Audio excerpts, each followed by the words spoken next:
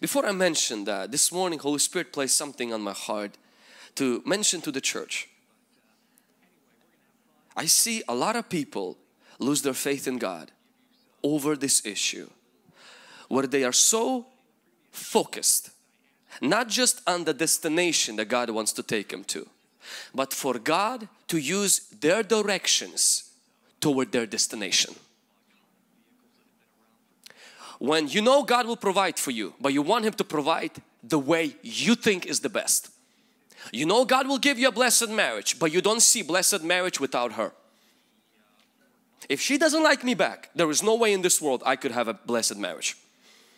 If I don't have this way, there is no way that I could reach this way. And my message and encouragement to you this morning is this. Give God permission to get you to your destination without using your directions.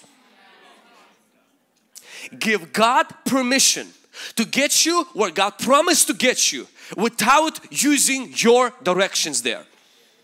Be like Naaman who came and says, I expect God to come lay his hand on me. But if he doesn't lay his hand on me but sends me to get dunked in the river seven times to get healed, whatever it takes, but I will be healed. Some people Jesus healed by spitting at them. Other people Jesus healed by speaking a word. Some people Jesus healed by stretching his hand. Some people Jesus healed by simply saying go wash yourself. But the point is this, don't expect God to use a certain way with you because I've lived long enough to know usually God looks at your directions and laughs at them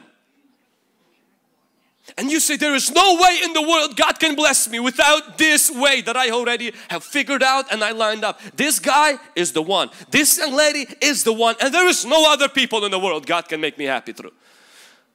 If I don't get this, I will never be happy with anything else.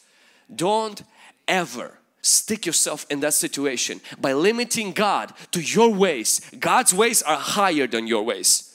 There were leaders in our church that left our church and in my mind I thought there is no way our church can grow without these leaders. I've learned it. The devil is a liar.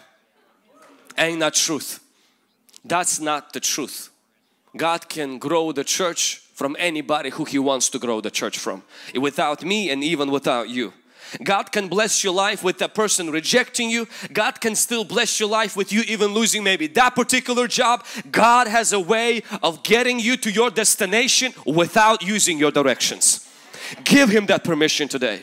Be free. Love the destination. Do not fall in love with your directions. Because many times we, we, we work everything out and we think if God doesn't follow it through, it will fail. God is a God of destination and destiny. But He likes to make fun of us sometimes by scratching our directions and still getting us to our destination and saying, I am God and trust me. Can somebody say amen?